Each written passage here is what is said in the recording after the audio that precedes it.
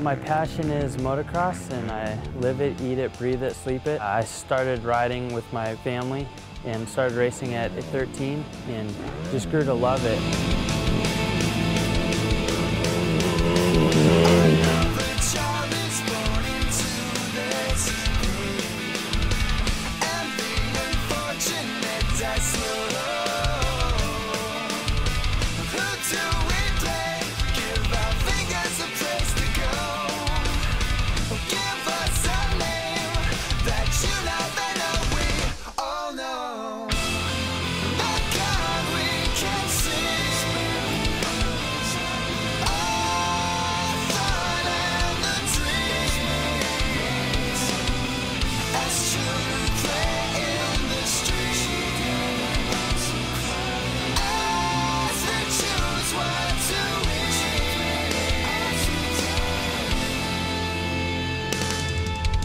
My family plays a huge part in my motocross career. Without them, it, none of this could be possible. They support me through everything, ups and downs, highs, lows, and my family makes huge sacrifices for me.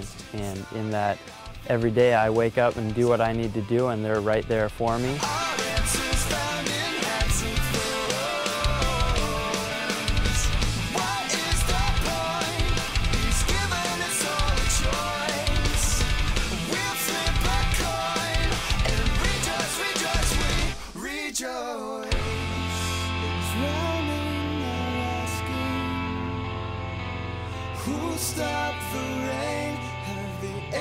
All right, we're here in Mesquite, Nevada for the final round of the WORCS Series. Really excited about this first race, and uh, I'm in second in points right now. Well, the position in second, I've got through there with consistency and trying to be consistent as possible.